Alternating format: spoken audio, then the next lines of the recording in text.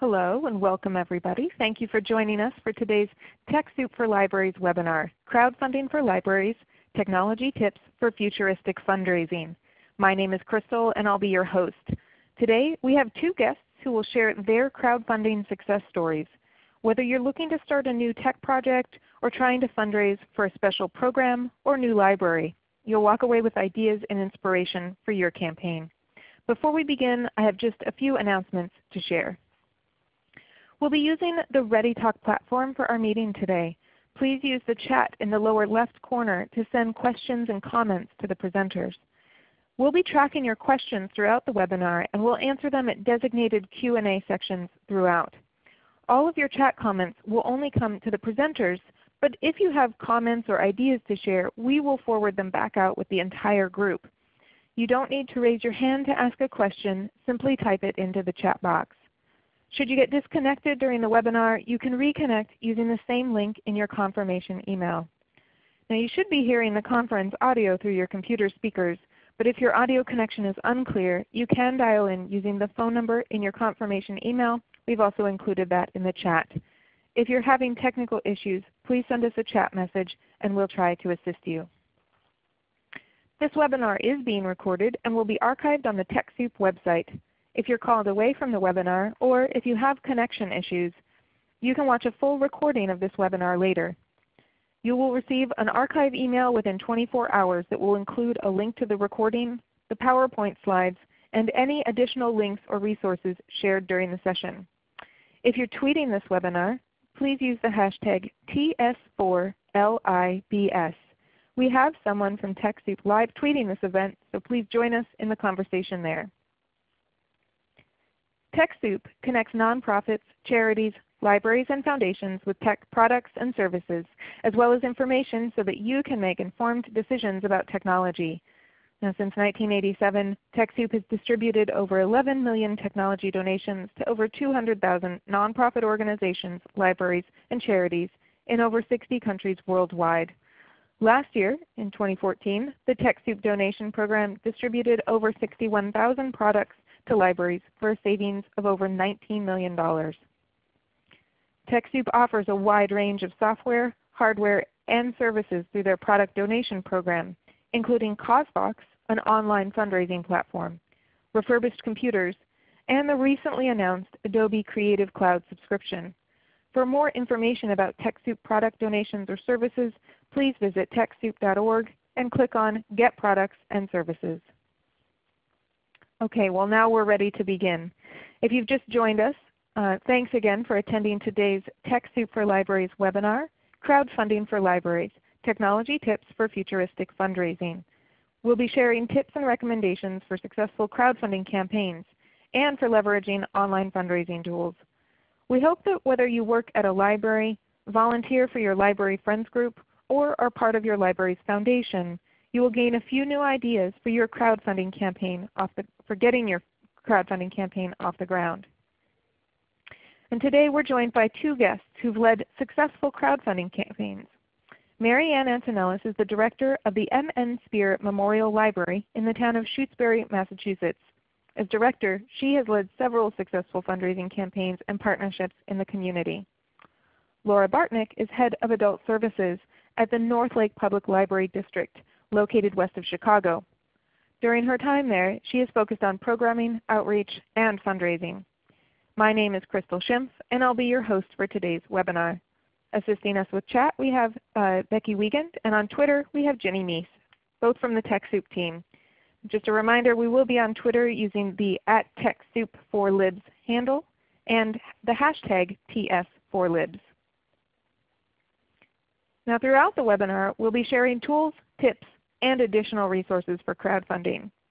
Laura will share her experience with Indiegogo in a campaign that brought the Incredible Hulk to the Northlake Public Library District.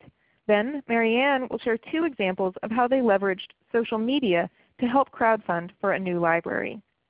We will have time for questions throughout the webinar, so please send your questions in using the chat as they arise, and we'll address as many as we're able to. If you ask a question that we are not able to get to during the webinar, We'll follow up later via email with a response. This webinar is being recorded and all of the slides, resources, and materials will be included in the archive of this webinar which you should receive by the end of this week. And we'd like to know a little bit about you too. So tell us, what's your experience with crowdfunding? You can choose your response by uh, ch checking the radio button and then clicking Submit. And once you've submitted, then you should see a graph showing the results of the poll so far. You can also tell us more about your experience in the chat if you'd like to. So I'll give you each uh, give you some time here to think about that. I can see the responses are coming in rather quickly. And it looks like we have um, definitely a, a, large number of you that have either very little or no experience. And as I'm seeing that, I'm very glad to hear it because I think this webinar will give you a good introduction to crowdfunding. Now if you happen to have more experience, I hope you learn a few things as well. Um, so I'm going to go ahead and close the poll now in just a few seconds. Uh, so I'll give you one last chance to enter your response in. And I'll close it now. Great. And we got exactly 100 responses. How about that? So yeah, it looks like actually this will be a perfect webinar for those of you who are just getting started with crowdfunding or only have a little bit of experience and that you'll get some great ideas today. Thanks for sharing that, your responses in the poll. All right, now uh, just to get started, I wanted to give a bit of an overview here. There are many different crowdfunding tools out there, and these are five of the more common crowdfunding tools that libraries have been using. Uh, but they're not the only tools out there. Um, each of these platforms has different uh, fees, rules, and different ways that they work. And it's worth it to take a look at each of these platforms closely before you choose one. Um, these rules and the fees may change over time, so it's best to visit each platform directly to learn more about what they have to offer. Now I've included a link to each of these in, in the archive of this webinar. And like I said, you'll receive that later this week, so you can go directly to these tools to learn more. We'll be hearing a little bit about Indiegogo and Razoo in more detail from our guest speakers later on. Um, CauseVox is a tool that's actually available through the TechSoup product donation program, and you can learn more about it on the TechSoup website. Um, and if, if you have run any crowdfunding campaigns and you have a tool that you uh, particularly liked and would recommend, maybe uh, you don't see it listed here, feel free to share that in the chat and we'll share that out with everybody else and we'll even include it in the um, uh, archive of the webinar as well. These are five of the more common tools. I also just wanted to start you off with some essential tips for crowdfunding. And these tips are taken from a few blog posts and one archived TechSoup webinar. And again, I'll include those links in the archive as well. Uh, but first, be sure to plan your crowdfunding campaign carefully you want to apply the idea of SMART goals, making your campaign specific, measurable, attainable, and relevant to your library goals. Second, be sure to start with your existing network when you're sharing your crowdfunding campaign, the people who you already know support your library. Then ask them to help spread the word. This is what helps make your campaign go viral.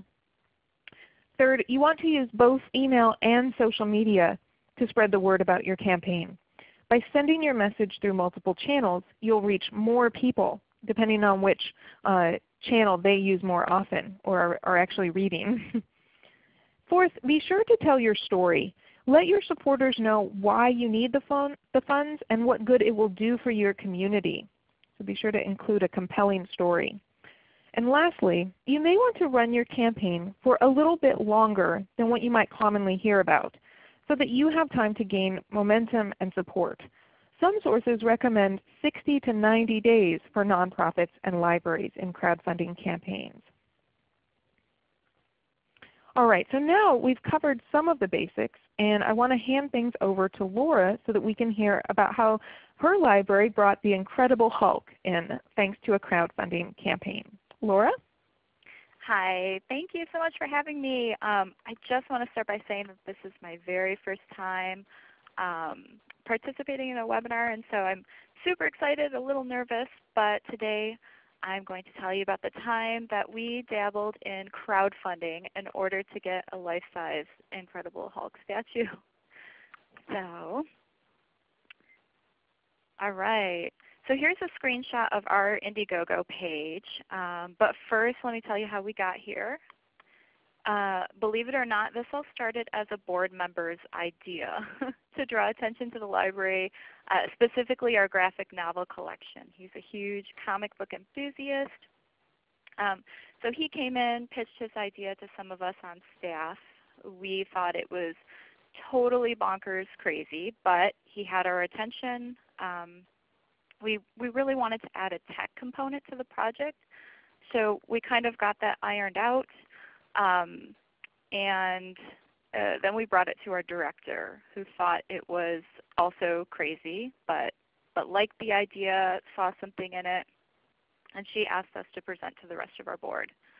Um, so in a nutshell, this was our pitch.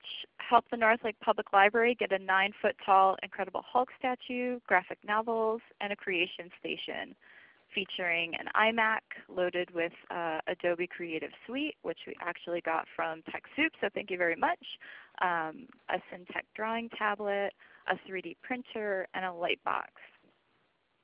So um, you can see on our page, all in all, we asked for 30000 um, We raised a little over 4000 on our Indiegogo page and another 1350 in-house. So 5600 total we were able to raise in one month.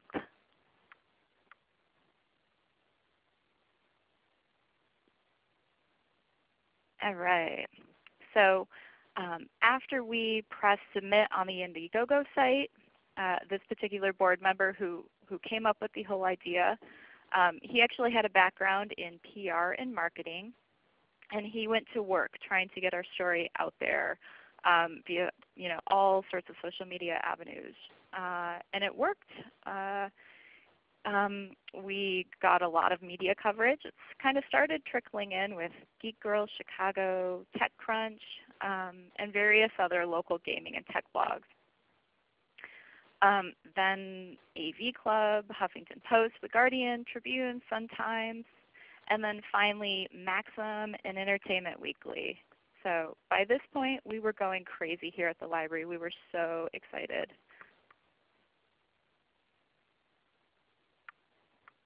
Okay, once we made it this far, other publications and blogs started picking up the story um, as far as the UK and Poland. And here we are. Our teeny little library um, in print in Entertainment Weekly right next to Bradley Cooper's lovely face.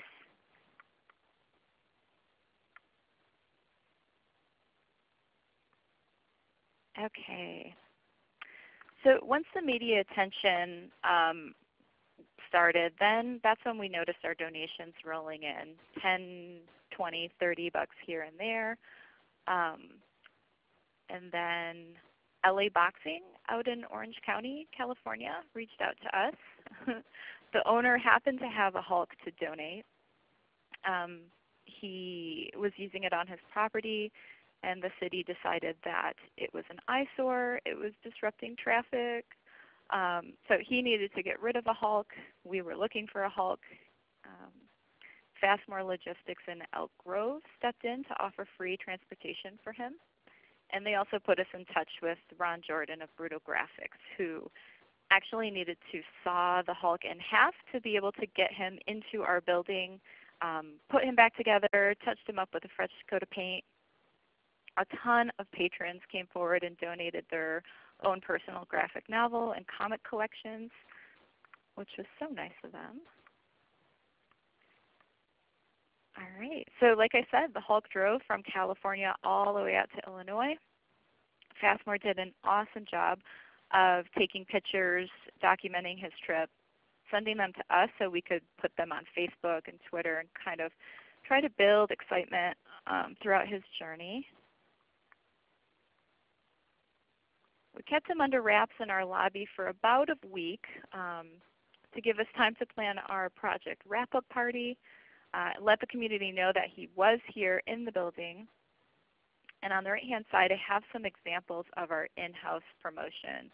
Um, we had a special limited edition library card featuring the Hulk. Uh, we made some buttons up for staff. Um, and then patrons could also donate in-house and we would put up a green I made a pledge sign So by the end of our campaign, our lobby, our circulation desk was like a sea of green. These little flyers were everywhere. All right, so we hosted our project wrap-up party. Um, this is the busiest our lobby, the fullest our lobby has ever been. Um, so our, our director was uh, with a helper pulled the sheet off of him. You can see everybody's cell phones are up, taking video, taking pictures. We did demos of all of our awesome equipment that we were able to purchase. Um, we put all of our graphic novels that were donated as well as some from the collection on display. And of course we had green snacks and drinks. Um, here's a meme that our teen librarian put together. Since he came from a boxing gym, he had his boxing gloves on and, and we just went with it. Um, and on the right hand side, that's our director, Sharon Heiler, standing next to him so you can get a sense of the sheer size of him. You can't miss him. All right, so since then, our Hulk has been a huge attraction. Um, here he is dressed up for Comic Palooza and he just makes the best landmark.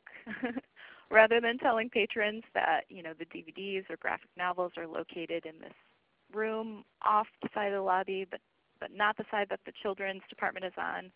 Um, now we just say he's in the room with the Hulk, and they know exactly what we're talking about.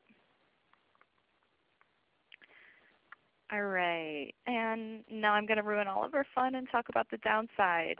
So um, not enough local coverage. Um, we couldn't tell the local press what to print, but it, I will say it was a bit disappointing that we got you know some really great national and international coverage, but our local paper just did one small article on us um, towards the end of the campaign. Um, disorganized social media plan. So after launching our Indiegogo, it was a total whirlwind. Um, we've never done a project like this, and, and we were scrambling a bit. Um, one person started off strong, you know, with the social media aspect, but then kind of got burnt out. They, you know, they were doing it all. The rest of our group was kind of, you know, where do we go from here? How do we divide this? Who's going to do what? Um, so that, that aspect was difficult. Um, not having a designated point person, spokesperson, this is also something we kind of figured out mid-project. Um, only after we had a couple committee members straying from talking points and giving quotes that were um, just slightly off message from you know what we had drafted, drafted and what we wanted um, the library's message to be. Uh, not having a plan B we didn't meet our goal. This was a big one. Um, a plan B meaning what would be priority if we couldn't purchase everything. Um, there were some people in our group who who really saw this as a graphic novel project and wanted all the money to go to graphic novels. Um, others in the group really saw this as, you know, we need tech equipment. This is equipment that's not possible with our current library budget without this campaign, we wouldn't have been able to purchase any of that. So again, kind of figuring that out before you even start, um, not a bad idea. All right, certain donors trying to take over. uh, while we were, you know, of course, very, very grateful to all of our donors, um, some of them felt like by donating they had a greater stake in the project and they had tons of ideas of how to make it a bigger and better project as far as you know what library staff should be doing, what we needed to be doing, um, which was good. On the one hand, we loved their enthusiasm and passion, but we kind of had to balance their expectations with the fact that this project was an addition to our jobs as librarians. So we were all still serving on the ref desk, um, collection development. All of our regular programs did not stop when we started this project. Okay, now some positive things though. Um, we raised money. So we would have been happy with a hundred bucks, right? Because that's a hundred bucks that we did not have before we started. Um, thankfully, we raised considerably more than that. Uh, between what we raised and donations, we met all of our goals. Um, every time a kid asks us to use the 3D printer or the Mac, or even takes a selfie with our Hulk, I feel like it was totally worth it. Um, we got some crazy media coverage, some of the best we've ever received. Um, most libraries our size get local coverage here and there. We had national and international coverage. Um, again, we got all of our tech equipment. We were thrilled. And we got to show off our fun side. Um, hopefully change some people's perception of a public library. You know, sure this is a place to learn, study, get your literary fiction and your tax forms, um, but it's also a place for free entertainment, a place to be creative and experiment with the latest, greatest technology, and also just play and have fun. All right. This is what we learned, um, what worked really well for us and you know, what we kind of figured out along the way. So we went at this project by forming a committee. Um, and we pulled one person from each department. This way, you know, all the info, all the decisions kind of trickled on down and it kept every service desk informed of you know, what we were doing, what we were up to. Um, one point person, one spokesperson, kind of already touched on that, but that is so important. Uh, comprehensive social media and marketing plan. Um, get this together early on. Who's doing what? Get your press releases drafted. Um, get your timeline mapped out. There really is no such thing as too much planning with a project like this. So here at Northlake, we were so excited. Uh, we got a little restless and maybe launched our project too soon. Um, so I mean, it's not a bad idea to play the what if game with your committee. What if you raise half? What if you go over? All right.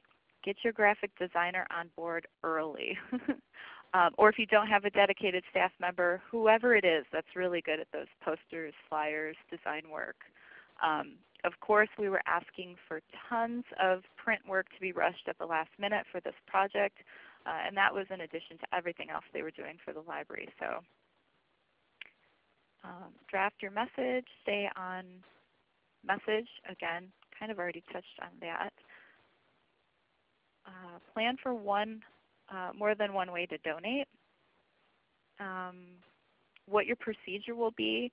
Not everyone can or wants to donate online. That's really important to keep in mind. Um, so figuring out what's the plan when somebody walks up to the reference desk with $5 and wants to donate to whatever your campaign is. Um, who will be collecting that? What is the procedure? Um, and I'll say most importantly, you got to have fun with it. Uh, for us, of course, it was a ton of work and stressful at times, but at the end, um, this is about getting a life-size Hulk at our library, so it made it totally impossible to take ourselves too seriously. And that's our story. We're, we're pretty happy with how it turned out. Um, we learned enough to make our next campaign even more successful, whatever that may be. And then, you know, this happened a few years ago, so by revisiting it to do this webinar, um, I'm, I'm feeling pretty pumped for our next, uh, next project. So again, thanks for having me.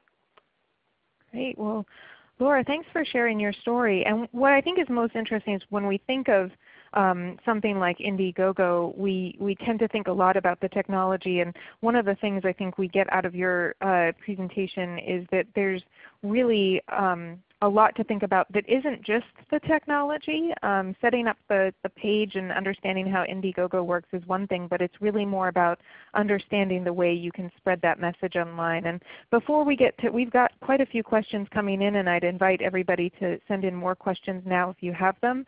Um, but one question that came in earlier was just to uh, define maybe what crowdfunding is. And I think we're starting to get a sense of that. But one definition that we have for it is that crowdfunding really is the, the, the practice of, of funding a project by raising many small amounts of money from a larger number of people and that um, the Internet is often involved and we have a lot of tools like we shared earlier, um, Indiegogo being one of them that um, might help us uh, fundraise via the Internet. Um, but it really is kind of bringing many people together and in this case I think you found that people were also um, interested in donating in-kind goods, um, which isn't something you can really account for in terms of that dollar amount. Um, now, in terms of what your goal was, I know you talked about some of the lessons you learned, um, but Veronica asked um, that it looked like the goal you know, was pretty high. It was 30,000, um, but only 5,600 was raised um, in terms of the dollar amount. Uh, that's I don't I think not accounting for the in-kind donation. So would you say that the initial goal set was too high, or do you feel okay having set a very high goal like that as you look back at the project? So yeah, it was really high. We kind of plucked that number out of the sky, um, not really knowing if that was realistic or not. Um, and like you mentioned, we were not expecting any of these in-kind donations. So that higher amount did a cost for the fact that we anticipated having to purchase everything. Plus that amount was to supplement our graphic novel budget um, for the upcoming year. So yeah. All right. So yeah, it's a little bit of um, success and, and also recognizing what you might do differently next time. But now to counter that question, Ryan asks, do you think that if you had not said that you wanted a Hulk, and I assume he means the statue here, that um, if you hadn't uh, indicated that, do you think you would have received as much national attention? No. yeah. So I'm glad somebody asked about that um, because around the same time we were actually in desperate need of brand new computers. We were still using old XP machines, um, no longer supported. And we did receive some criticism of you know, why are you doing this outlandish kind of silly campaign when your library has a real need for computers? Um, and yeah, you hit the nail on the head. By saying a library needs computers, that's not going to grab anybody's attention. That's not a story that's, um, you know, while it's a worthy story, it's not an exciting story.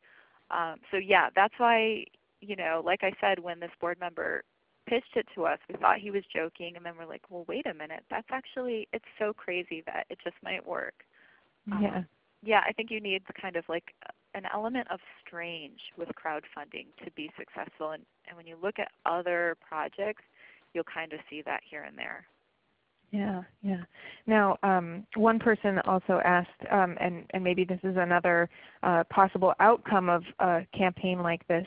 Um, did you see any um, any change in your circulation stats as a result or possibly as a result of the campaign, or were there any other positive benefits um, in the library that you didn't already mention?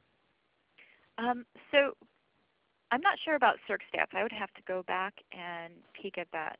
But you know, the, the positive thing is you saw the slide that was just our lobby jam-packed full of people. I would say a good majority of those people had never been in the library before. Um, so, and even our donors kind of, once they heard about the story, came in and you know didn't even realize that this is something a library would be interested in. You know, what is a 3D printer in the first place? Um, so yeah, I think it, it got a lot of patrons and a lot of you know community stakeholders involved that they just had kind of no idea what we were all about here at the library. Great. Great. Well, we have a lot of questions coming in, and I just want to assure everybody who's sending in questions, if we don't get to all of them during the webinar today, we will follow up with an email. Um, and and so I, I want I do we do have time for maybe one or two more though, and this is a really good question. Um, thinking about the incentives that come with the Indiegogo campaign, you talked about that a little bit. Um, how did you plan for or did you budget for those incentives? And um, did the cost of the incentives end up coming out of the funds that you raised in any way, or did you use other money to pay for those incentives? Or were they donated? Yeah, so a lot of our incentives were donated um, either by individuals or by companies. Um, very, very few things kind of came out of the budget because, again, we wanted to really minimize that so you know all the money could go towards graphic novels and equipment and the Hulk. Great.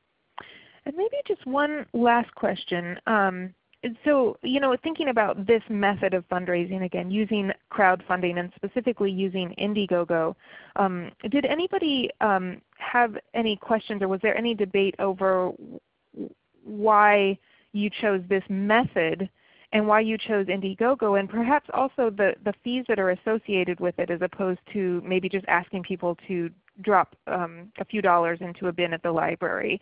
Um, you know, did you have discussion over that? What was it like and, and how did you ultimately come out with Indiegogo in the end? Sure. So we actually, this started off as a Kickstarter campaign. Um, it, we had never heard of Indiegogo when we decided to start this. Um, the thing with Kickstarter though is if you do not reach your goal, you don't keep you don't get to keep the money. Um, so we if we would have gone with Kickstarter, you know, we did not reach 30,000, we would have got nothing. Um, Indiegogo is much more friendly when it when it comes to that. You can do a flexible um, campaign where you keep whatever you, you raise, whether you hit your goal or not or go over your goal.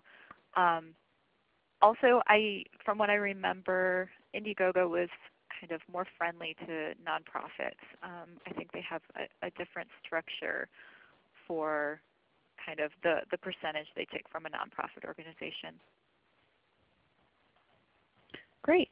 Well, that certainly gives us a little bit more information about Indiegogo in particular. And Laura, at this point I'm going to say thank you for um, sharing the knowledge that you have so far. Um, we will get, um, if, if we happen to have time at the end of the webinar, we'll get back to some of your questions specific to Laura, but if not, we'll email you later with the responses. And thanks to all of you for sending your questions in.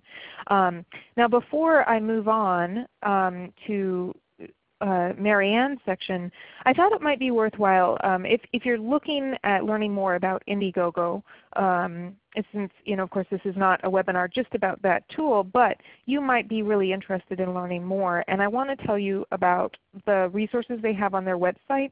They call it the Indiegogo Playbook. And I'll share this link um, in the archive. And basically this is their support page. And they include tips uh, for before you launch your campaign as well as during and after your campaign. And they also have information for how to contribute to a campaign which might be helpful for you know, if you have any more skeptical donors um, or people who are wondering what it, what it means to donate online. Um, they also have a specific guide for nonprofits. So uh, Laura, you helped me segue into this um, because they do have um, some, some information specific for nonprofits and especially how to accept tax deductible donations. Um, and every crowdfunding site, every platform has training resources like this which you can and should review before you actually start your campaign just to help you get started. Um, but this is just giving you an idea of what Indiegogo has available. All right, so thanks again Laura for sharing that. And with that we'll move on and I'm going to turn things over to Mary Ann who will tell us about how she leveraged social media and other tools to crowdsource two different campaigns towards the building of a new library. So Mary Ann?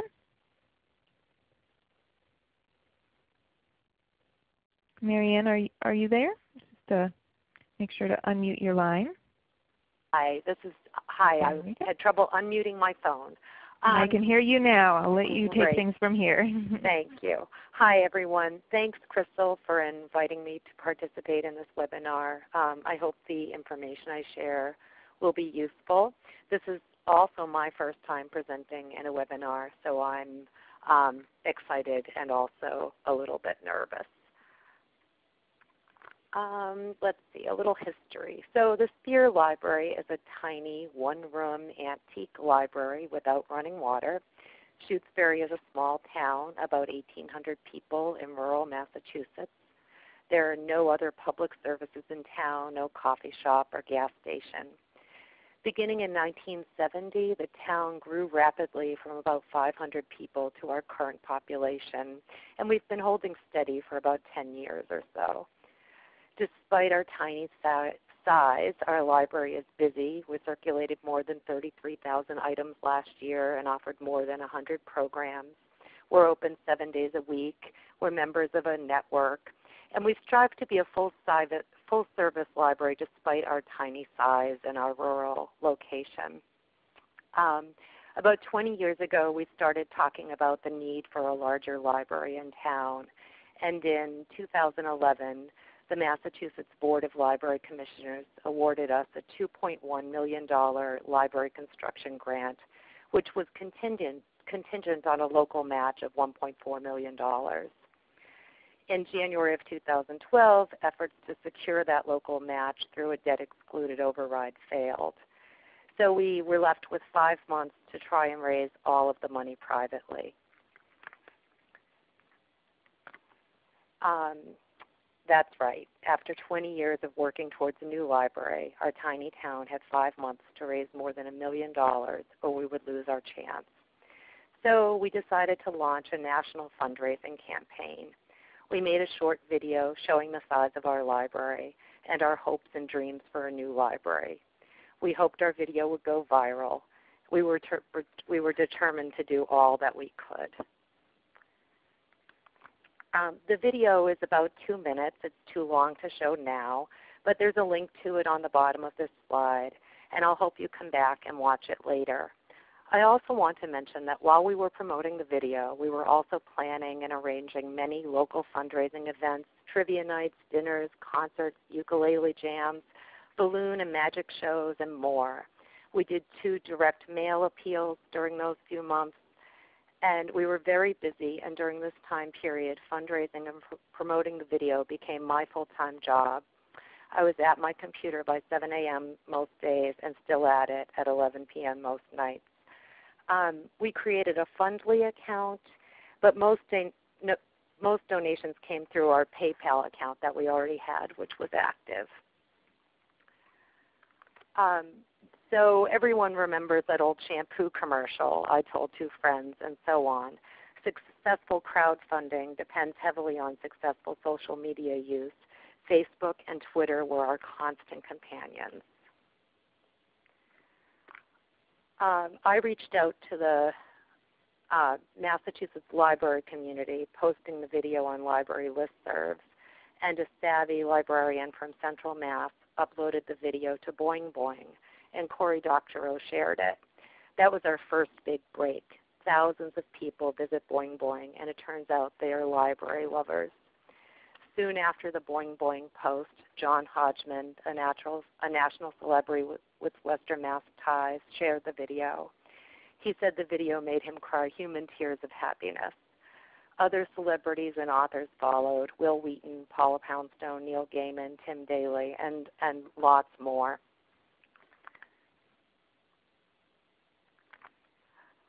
We searched for we researched for and reached out to sites that promote social causes.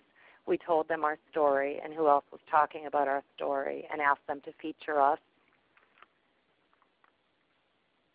Um, the Daily Do-Gooder uh, sends they email out one um, one video a day, and we were featured on the Daily Do-Gooder.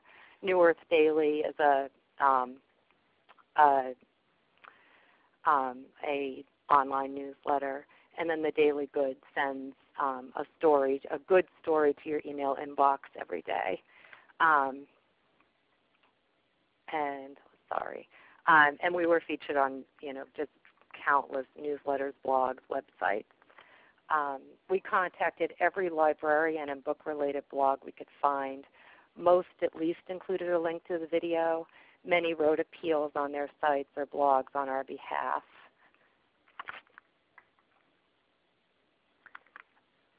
The press began to notice. The New Yorker's book bench called us determined and creative. We really loved that. That gave us a boost that lasted a week. We were featured in local newspapers, local radio stations, local TV news, the Huffington Post. There was a front page article in the Boston Sunday Globe there were at least three different public radio stories, and we were interviewed for Right This Minute, a web TV station based in Phoenix. Um, we had a lot of hope for our campaign, but we had pretty low expectations. We knew trying to raise more than a million dollars in a few months was a long shot, but we had nothing to lose. We worked hard and we learned a lot. 50,000 people viewed our video. It raised $60,000 with donations from all 50 states and more than 20 countries. But it wasn't enough. the deadline arrived and we lost the grant. So we still need a new library. Um, and although we don't have any immediate plans to try again, we know that a new library will cost money, so we continue to actively fundraise. Some of us call it our Rake and Bake Fund. Um, so one thing we've been doing for three years is a spring spruce up. So we have, oh, this year we had 16 people volunteer to be on teams of four adults who go out into the community and we'll do spring cleanup in, um, in a homeowner's yard for an hour for a $100 donation to the library, and that's grown every year. Um, in December last year, we decided to participate in Valley Gives, which is um, a regional online giving day. It's hosted by the Community Foundation of Western Massachusetts. It was in its third year, and thousands of local people have been participating in Valley Gives, donating million dollar, millions of dollars to local nonprofits. Uh, the Valley Gives and the Community Foundation use um, Razoo as a platform for giving, and Valley Gives. And the Community Foundation gave a lot of training and support for nonprofits uh, participating in Valley Gives, and they had a whole um, storytelling workshop to help nonprofits learn how to tell their story, and they actually used our video in their storytelling workshop. So that was interesting to to go to the storytelling workshop and then have them using our video as one of their storytelling tools. We deployed all the same strategies we learned in our previous campaign, but on a local level. We gave out chocolates with little strips of paper um, telling people about our upcoming campaign. We posted it on social media. We did a town-wide mailing. We made a banner for the side of the building. We posted on local listservs and put flyers around town. We reached out to local craftspeople, artists, and authors to donate items for incentive prizes for donations at different giving levels. And we were trying to make our campaign a positive, fun, and successful experience. When we registered for Valley Give, we had a small goal, $500, but a local donor offered a $2,500 challenge gift, increasing our potential and our efforts. This is our, our Valley Gives web page, um, and this was part of Razoo's platform. We had a slideshow um, at the top, and, um, and then we had an appeal letter below it um, townspeople really enjoyed seeing themselves in the slideshow. Um, let's see, so Valley Gives was December 10th, 2014, and throughout the day, we were all about Valley Gives. We served snacks at the library all day. We were open all day until 8 p.m. We're usually just open five hours on a Wednesday. We used social media throughout the day to thank donors, and we were online until 11 p.m.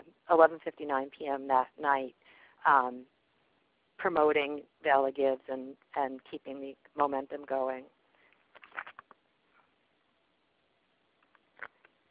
Um, Valley Gives was a smashing success. We raised lots of goodwill, excitement, and hope, and we raised more than $9,400.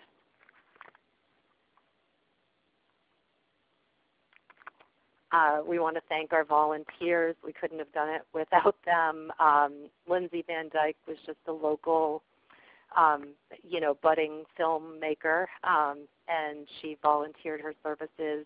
Emily, Block helped with the video campaign. Susie Mosier has been um, by my side for all of these years, and we have lots of library friends and townspeople and national and international library supporters.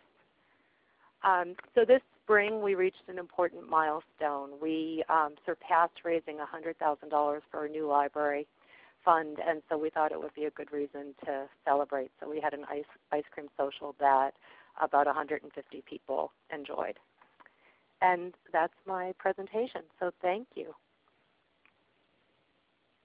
All right, Mary Ann. Well, thank you for sharing your story. And I think one of the messages here that, that I certainly see, and I saw this in Laura's as well, is that um, not reaching a specific goal that you've perhaps set with crowdfunding doesn't mean that you haven't succeeded in some respect. And this question came up earlier in terms of you know, setting a, a very high goal and not necessarily reaching it and, and the way that perhaps you think about that. So do you have any more words to say on that, just kind of looking back at what you've done so far and seeing these high goals that weren't met, um, but seeing you still making, you're still making forward progress towards your, your big goal? Does that make sense? Right, right. And when we made our video all those years ago, we it, you know, it took it took a while. It was a, a long, a six month debate, and well, a five month debate about whether or not the town would fund the new library. And people had been, we really had been working on it for 20 years to get to that point. And so we had we had already lost, and we had, um, and so we, we had already lost. We had nothing left to, to lose and we wanted to part of the campaign we also just wanted to change sort of the, the tone of the of the debate around a new library. So of course for a tiny town like ours coming up with a million dollars, it's that that that's challenging for people because um, the economy was really bad and people are leery of any increase in taxes. Um, so while we didn't raise the million dollars, we did we did have a fun, you know, national conversation about libraries that, that drew attention on us, and it did change the tone of the conversation here in Shutesbury. People who were opposed to a library weren't opposed to it if if they didn't have to pay for it through tax dollars. So so it was really a positive experience in the town. There was a lot of support for it. People who had been opposed to the project supported the uh, the fundraising campaign, and they've been they've been supporting all of the other fundraising campaigns that we've been doing projects that we've been doing in the meantime. So they might hire a spring spruce up team or volunteer to be on a team. So we didn't we didn't get our new library, but but we haven't stopped trying to get a new library either. so um, so we feel pretty good about it. Great, great. And that definitely speaks to the change in the perception of the community, the awareness that you're raising about the library through the fundraising campaign um, campaigns that you've done so far. Um, now Mary asked a question about, um, well she says how has the money you've raised so far, how has that been invested? Uh, or has it been invested? Or maybe the bigger question here is what are you doing to set that money aside? Um, and I'm not sure if this is a question you're, you're comfortable or able to answer right now, but maybe you could speak to that at least in general terms of what you do when you're, you're reaching this larger goal and you've got this money that has been raised so far. Right. Um, it's it's in the bank. It's in a CD. We're a little leery of um, of putting it in any kind of risky investment. Um, so we've we've sort of talked it around a couple of times. We've met with um, with the banker, and so far our friends of the, the friends of the library are holding the money, and so far they're leery of doing anything risky with the money. So it's it's in a it's in CDs in the bank, um, and that's great. likely where it'll stay. Great, great. Well, and that speaks to yeah, set aside somewhere um, right. in safekeeping, if you will. Right, so. in, in a in a in an account dedicated toward a future yeah. new library fund. It's not in with the Friends General Fund. Great, great. And then actually, so this uh, leads me to the next question is maybe you could speak to the way, is the fundraising going through the Friends of the Library group in, in your situation or is the library running it directly? And are there any limitations based on that um, in, in, terms of how much funding you can receive um, from people in your community? So the, so the Friends of the Library are the fundraising arm of the library and any donations um, that come in are donations to the Friends of the Library for this project. Um, and because this is such a tiny town and a tiny library, I work closely with our Friends of the Library group. I don't ask any volunteers to do anything that I'm not willing to sort of stand right up and do myself. So, so I work with them and um, and you know, if there's a bake sale, I bake and I take my shift at the bake sale table, and I'm one of the Spring Spruce Up crew members. And um, and it's so, but but the money is raised by and held by the Friends of the Library. Great. And actually, speaking of the amount of effort that goes into these fundraising campaigns, we also got a question about um, you know, perhaps the cost to benefit ratio. And while we may not have that math on hand, can you speak to how uh, much perhaps time and, and even expense goes into these campaigns um, versus the amount of money of funding that you're generating and, and I guess the question here is, is it, is it worth it in the end? Are you getting a return on the effort right. you put in?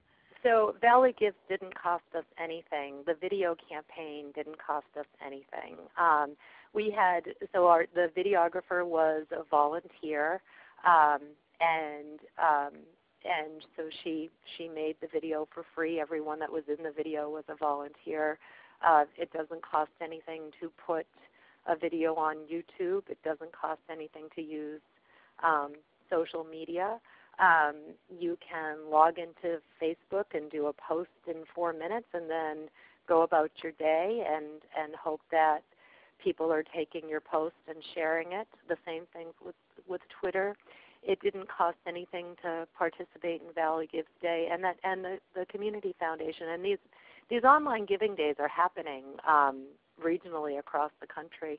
Um, and um, we did we you know we did pay a small fee to Fundly that was a percentage of the donations. We did there is a percentage of the donations that go through PayPal that go, um, but having those online giving platforms makes it well worth it. And, and then Razoo, which the Community Foundation used for Valley Gives Day, also takes a, a small percentage of the donations. But that, especially the Valley Gives Day, we just look at that as that was beyond our wildest dreams because we don't have an actual plan for a new library and we don't have even a time frame of of when we're going to be trying again but to raise you know nearly ten thousand dollars in one day.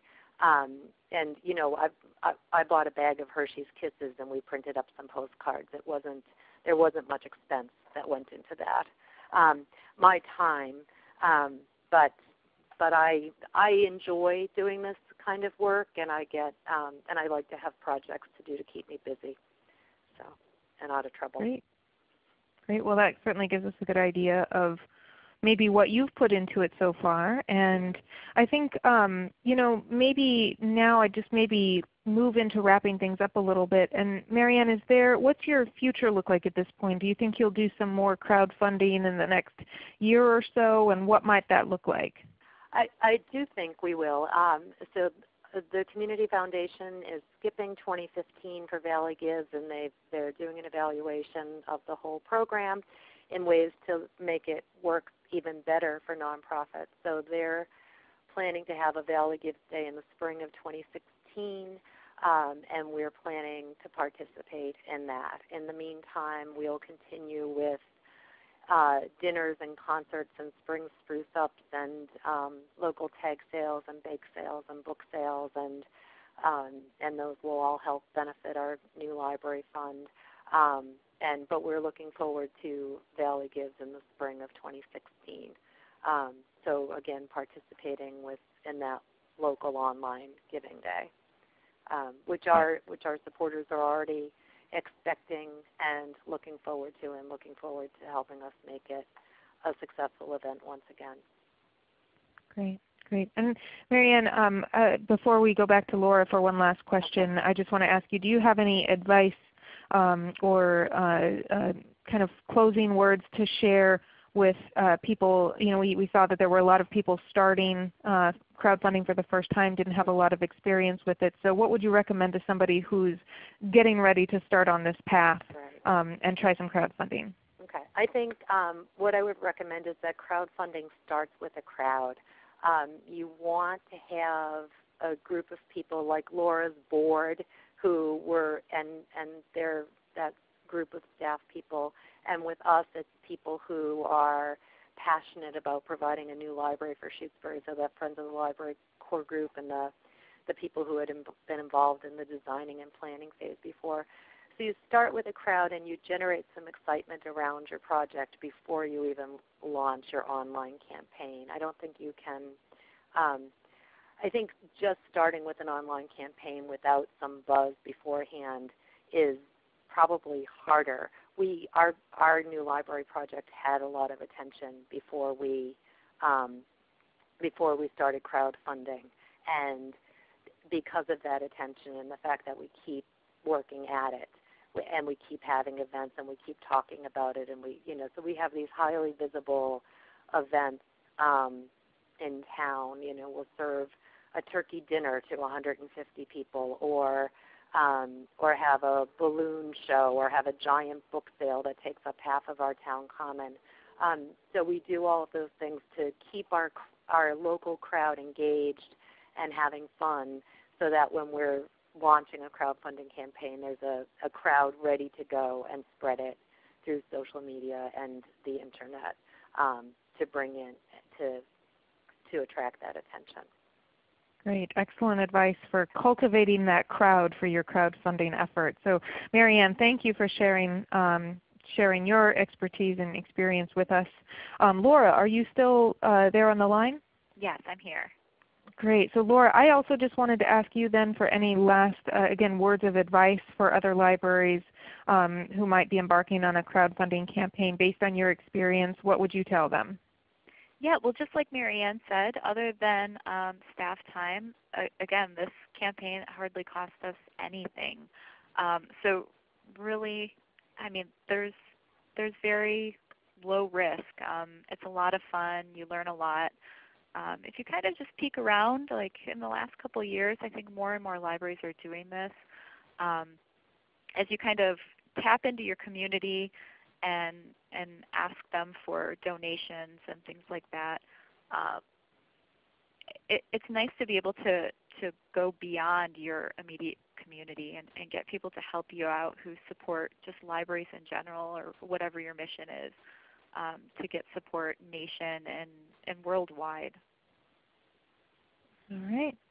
Great. Well, um, thank you both. Thank you, Laura and Mary Ann, for sharing um, your stories and also your advice with us today.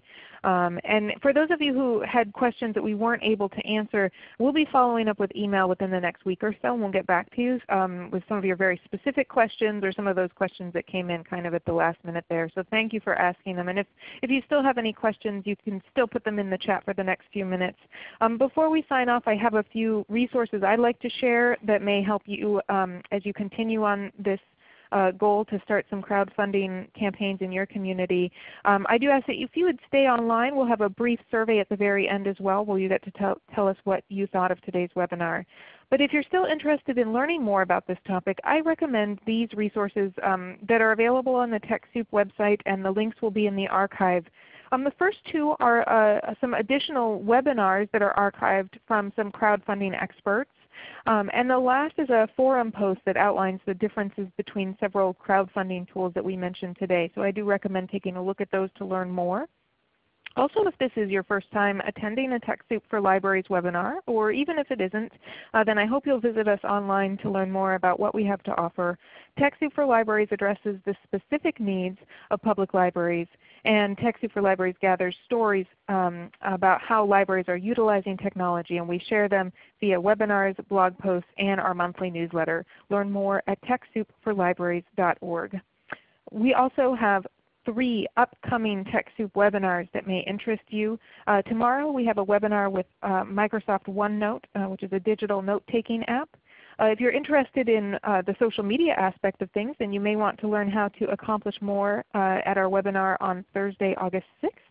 And our next library-specific webinar will be on Wednesday, August 19th, focusing on technology planning for small libraries. Um, you can register for these webinars and view archives of past webinars at TechSoup.org. Uh, just a reminder that we will put the links in the archive, and you'll also have access to the slides. And you'll get that by the end of this week, so you'll be able to access all of the links that we've shared today. Thank you for joining us. And uh, like I said, please stay on the line for just a moment longer and take a survey about today's webinar. Uh, thanks again to our guests for sharing sharing their crowdfunding experiences. I'd also like to thank ReadyTalk for being our webinar sponsor. ReadyTalk can help you collaborate and share information and is available as a product donation on TechSoup.org. Have a great afternoon everyone. Bye-bye.